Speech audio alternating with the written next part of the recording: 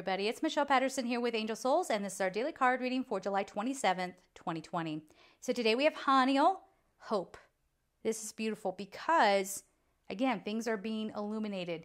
We may not see what we want to see. And there's a message here that just because things don't look the way you want them to doesn't mean you have to go in and fight it.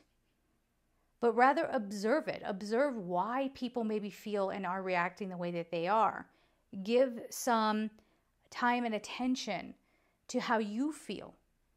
And even if, as we've been saying for days now, even if things are not playing out in the way you had hoped or anticipated or what have you, if you really clamp down and say, no, it must be this way, well, then you're going to cause suffering for yourself. Now, this hope card comes forward and says, whatever's going on, keep the faith, keep your hope, keep the hope alive, because this is leading us to something, okay? Be tuned in with the beauty and grace.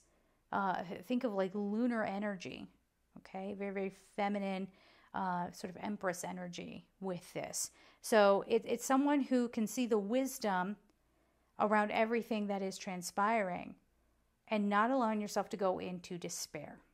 Again, Things may not look the way we want them to. They may not feel the way we want them to, right? But if we can just hang in there, we had a few days ago the the serenity card and meditation and you know what I'm saying? Just stay very very connected. We are going to come out of this and we are going to be better for it. It's just going to take some time. All right? So we're going to leave it there guys. I'm sending you all so much love and take care. Bye-bye.